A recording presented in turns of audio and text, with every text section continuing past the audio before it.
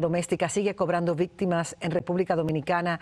En el más reciente caso, un hombre cegado por los cielos, por los celos, debo decir, atacó a su esposa y le cortó la cara con una botella rota.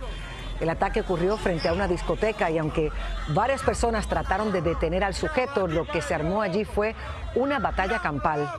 El agresor fue arrestado y dijo que agredió a su esposa porque la encontró con otro hombre. La víctima fue llevada al hospital donde recibió ocho puntos de sutura en el rostro. Las celestiales y aclamadas musas se pusieron el mejor de sus atuendos, cargadas de plumas, diamantes, lunas, estrellas y voluptuosos vestidos. Por primera vez una